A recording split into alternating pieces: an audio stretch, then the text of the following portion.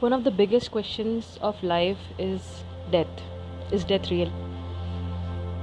I don't know. My first experience with death was when I was 10 years old and I lost my grandfather. At first, I could not understand the intensity of what has ac- actually happened. I had lost my grandfather and I will never be able to see him again and I would he would never be able to hug me again and he will never be able to tell me stories. But soon after that I started seeing him in dreams.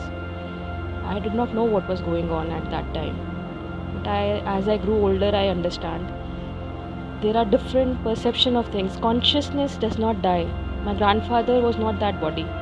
That consciousness lived in that body and my understanding of quantum physics tells me that his consciousness cannot die there are parallel universes there are metaverses there are parallel realities and the consciousness of my grandfather maybe in some parallel body or maybe in some par- metaverse. And in some metaverse my grandfather might be still alive. In some parallel reality he might be alive.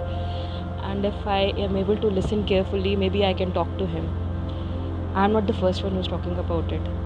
The native Indians used to talk about it, Native Americans, and they used to believe that they could call the spirits of their ancestors and they would come back and they could seek guidance from them.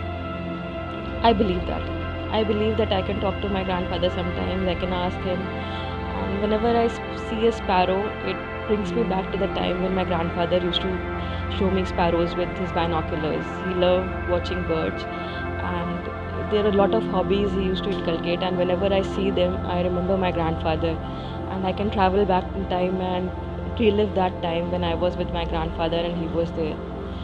So to me he will never die to me he will be eternal and he will live in me and maybe he will live in my children when i'll tell them stories about him. So to me death is not real.